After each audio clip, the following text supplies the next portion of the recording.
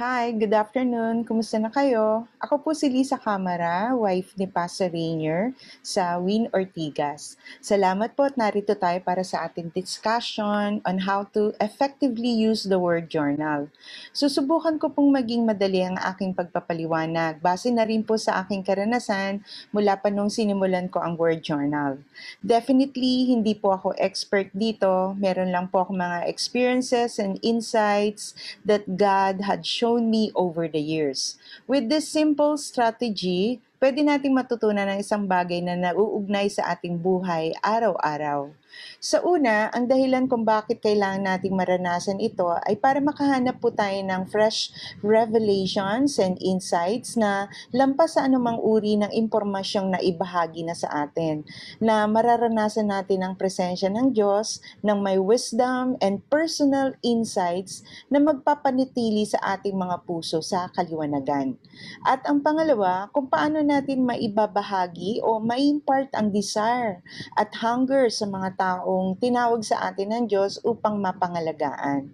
Dahil sa katotohanan ito, ang isa sa pinakamabisang paraan upang makita natin ang matinding liwanag na dulot ni Kristo ay sa pamagitan ng word, reflection, and kapangyarihan ng banal na spirito. So, how I started using the word journal. Sinimulan ko pong gamitin ang word journal na bigyan kami ni Pastor Rainier ng isang bagong pattern para sa aming devotion noong 2011. Mula noon, ginamit ko ng word journal method kasama ang Bible in a Year plan. Tulad din ng prayer 365 word journal, magkakaroon tayo ng isang book na mga snapshots at hinahayaan tayong tumingin pabalik sa ating journey kasama ng Panginoon sa isang espesyal na paraan. Tinutulungan tayong makita ang mga paraan na ang Espiritu ng Diyos ang nagpapalago sa atin sa paglipas ng panahon. Nasa atin po kung nais po natin ipakita sa iba o ingatan na lang natin sa ating mga sarili. It is between you and the Lord. Dito ko natutunang malang, mangalaga kung saan mas na-develop ang relationship ko sa Diyos at sa iba. Mayroon ako ngayon dahilan para patuloy na magkaroon ng daily, consistent, quiet time with the Lord. Ang word journal po ay isang uh, self-feeding style of devotional method kasi nanggagaling sa ating mga puso kung ang at kung ano ang ating saloobin, damdamin, hangarin, at mga pagpipilian at ang connection sa kung ano po yung binabasa natin sa Biblia. Sabi po sa Joshua 1.8, Keep this book of the law always on your lips, meditate on it day and night, so that you may be careful to do everything written in it. Then you will be prosperous and successful. Sinabi ni Joshua na para siya ay maging matagumpay, tinuruan siya ng Diyos na patuloy na basahin at pagnilayan ang salita salita niya sa kanyang buhay. Maring hindi tayo magtagumpay based on the world standard. Pero magiging matagumpay tayo sa paningin ng Diyos dahil ang higit na mahalaga ay ang kanyang opinyon na ating patnubay sa habang panahon. Yan. Ano nga bang benepisyo ang makukuha natin sa pagsunod sa method na ito? Number one po, it helps us pay attention to God. Ang word journal ay magbibigay sa atin ng pattern para ituon ang ating attention sa Diyos. Ang pagkakaroon ng structure ay parang naglagay ka ng agenda sa isang meeting o pupunta ka sa palengke, kailangan mo ng grocery list. Ito ay nakakatulong para mag-set at panatilihin ang iyong intensyon na magkaroon ng oras sa Diyos.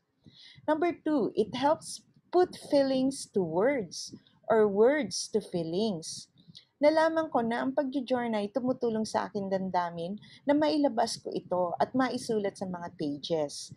Nagsusulat din ako kapag galit ako o frustrated ako na nagbibigay ng daan para sa aking mabilis na makita ko sa aking journal kung gaano ako katakatawa o paano pinakita ng Diyos ang kanyang sarili sa akin sa gitna ng aking mga frustrations na isinuko ko sa Kanya. So number three, it records our growth in becoming more like Christ. Ang journaling, madali ay maari ding isang written record ng mga bagay na natutunan mo mula sa salita ng Diyos. Nang binasa kong muli ang aking journal at nakita ko ang mga panalangin na pinanalangin ko at inambing ko ito sa nangyayaring kasalukuyan sa buhay ko, talagang nakita ko ang laki ng nagawa ng Diyos para sa akin. So patuloy kong ginadala ang lahat ng bagay sa Diyos at hinihiling sa Kanya na baguhin ako dahil nakikita ko ang mga mahalagang paraan na nagawa niya mula na ah, mula sa aking mga karanasan. Sa lahat ng sinabi ko, kailangan natin maging intentional sa pag-journal ng ating mga personal devotions or you will never form a habit. View your schedule and decide on time and place where you can take a few minutes of consistent, private time for your word journaling. Have a consistent time, a consistent place, a consistent plan to pray and reflect the Word of God. This has become one of the ways that I best connect with God. Nakakatulong po ito to persevere in the journey I'm on with Christ and nakakatulong din po para mag-open up ako sa Lord to be more honest with Him and with myself. So how should I journal? So dito po kakailangan po natin ng three items, ang Bible, pwedeng hard or soft copy, a pen, and the Prayer 365 Word Journal booklet. Optional na lang po kung gusto nyo maging creative, you can also use highlight markers, music device for worship, cellphone, laptop, iPad, or tablet for journaling, and earphones. If gusto nyo mag-dig a little deeper for understanding and insight, use Bible Handbook or Bible Concordance. Ang mga insights nito ay perfect po for noting in the observed part. 'Di ba? So, hindi malaga kung kailan mo ginagawa ang devotion mo. Pero gawin it mo itong napakahalagang parte sa buong araw mo. Yan. So, ngayon, para po mas maganda, mas maging maliwanag, gagamit po ako ng day 1 sa Prayer 65, 365 Word Journal booklet. Uh, ito po yung 2020 version at resulta ito sa paggamit sa maraming taon ni Pastor Rainier. So, right now, ang acronym WORD o W-O-R-D stands for Word, Observe, Reflect, Decide.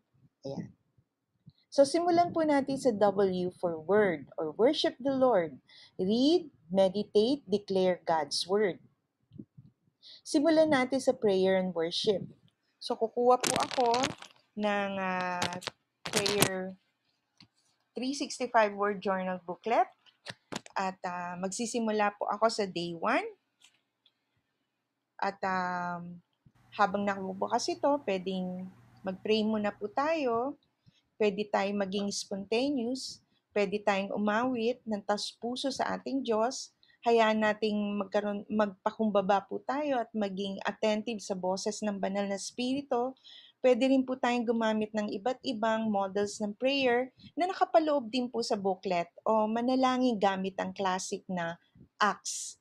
ACTS, Prayer Pattern, Adoration, Confession, Thanksgiving, Supplication. At pagkatapos, pwede na po natin basahin ang verses na nakasulat po dito sa booklet. But for the moment, gusto ko po sana munang magbigay ng short prayer. Uh, Siyempre po, bago po tayo magbasa ng Bible, hayaan po natin na uh, humingi po tayo ng uh, gabay sa ating banal na spirito. So, magandang hapon, Panginoon. Salamat, Ama. Maraming salamat sa pribilehiyo na maging anak mo, na kahit anumang oras pwede akong lumapit sa iyo. At uh, makatagpo ng comfort, ng help, ng fellowship. Uh, lumalapit ako sa iyo sa trono ng biyaya mo, Panginoon, na makakuha ko ng iyong awa, ng iyong kahabagan, at uh, sa pamagitan nito ay magkaroon ako ng confidence, ng boldness na never mo akong ire-reject sa lahat po ng aking pong gagawin or uh, sasabihin sa iyo. I welcome you, Holy Spirit, Hayaan mo na mag-speak ka sa heart ko. Hayaan mo na ma-reach out ko, Panginoon, from the inside na kung saan ay makatagpo ako ng strength and hope na nanggagaling sa iyo. At sa pamagitan ng pagbabasa ng Biblia at pananalangin. Salamat po sa pangalan ni Jesus. Amen. So ngayon po, let's look at the booklet. Day 1, pwede po nating isulat ang date. Today is December 29, 2020. So I choose to spend my day 1 today just for an example. It's not about the date, but the day you want to start your journaling or your word journaling. However, mas maganda na makasunod po tayo sa starting date ng 21 days of prayer and fasting, which is on January 4, 2021. And then let's read the word. Again, truly I tell you that if two of you on earth agree about anything they ask for, it will be done for them by my Father in heaven. Matthew 18:19. Pwede ko po rin ulitin. Again, truly I tell you that if two of you on earth agree about anything they ask for, it will be done for them by my Father in heaven. So observe, open your Bible, open your heart, listen to the Holy Spirit. Dito bubuksan ko ang aking puso, ang aking isipan, ang aking mga pandinig sa maaring sabihin ng banal na spirito. Iintindihin ng kwento o pananaw kung meron man. At ang mahalaga, isusulat ko ang sarili kong observations habang binabasa ko yung verses ng paulit-ulit. Kagaya po kanina, binasa ko po siya ng paulit-ulit. So, syempre, ang sabi po dito, spend some time in observing and enjoying the poster.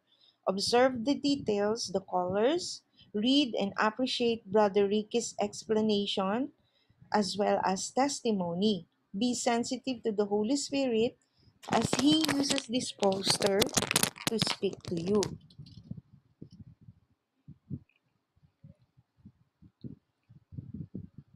So sa pagkakabasa ko po ng poster, nakita ko po dito, meron po siyang nag-struck sa aking puso. Ang sinabi niya dito, ngunit nangusap ang Panginoon na dapat magsimula akong muli at ipayo, itaayos ang aking prayer life. Kung i-connect ko po ito dito sa um, word, sabi ng Lord, two of you on earth agree about anything they ask for, it will be done for them by my Father in heaven. Nakita ko na sa pamagitan po ng uh, salita ng Panginoon, nangusap ang Diyos sa Kanya. At dito po, pwede ko pong isulat dito na makapangyarihan ang uh, salita ng Lord.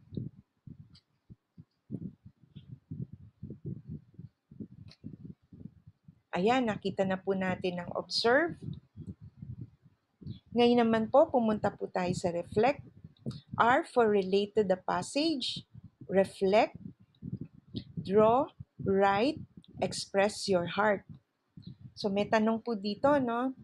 Bago po natin sagutin, explain ko muna, mas mabuti po kasi tayo po ay spontaneous. Dito, papatnubayan tayo ng Diyos pwede natin piliin na ihayag ang ating sagot sa reflect question kung meron man at pwede rin tayong mag-drawing lalo na kung tayo po ay inspiradong mag inspiradong mag-drawing. Pwede rin isulat natin ang ating mga saloobin pagsagot sa reflect question. So, ito po yung tanong. How is the poster artwork affecting you as a worshiper of Jesus Christ and as one with the church? Relate to God. Ano ba sabi ni Lord sa word verse and observe insights.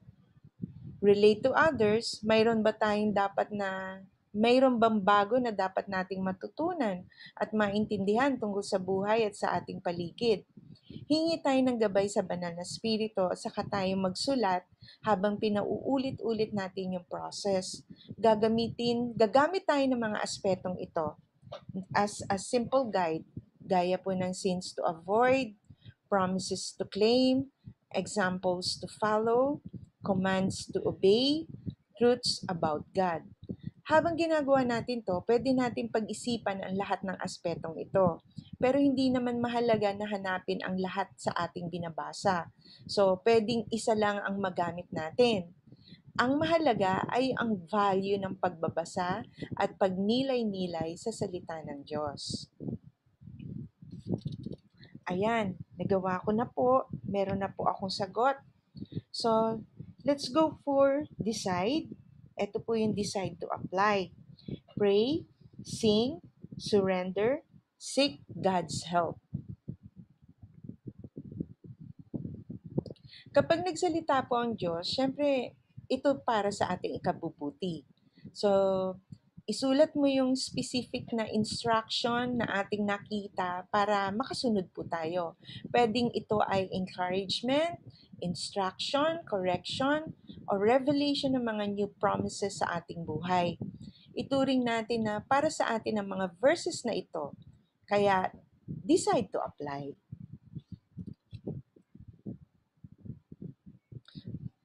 So, nagdi-decide na po ako na ang gagawin ko po ay talagang manalangin. So, tatapusin ko pong muli ang journaling sa prayer ng may pasasalamat. Okay. Father God, salamat po sa salita mo. In Jesus' name I pray. Amen. Uh, hindi lamang po ito ang the best way kung paano po natin gagamitin ang booklet. Ang mahalaga po, uh, manalangin tayo at basahin ng Biblia at inaasahan po na tayo po ay merong paglalarawan sa ating buhay sapagkat ang ating pagsamba ay laging nagkukwento ng mga kwentong nangyari sa buhay po natin.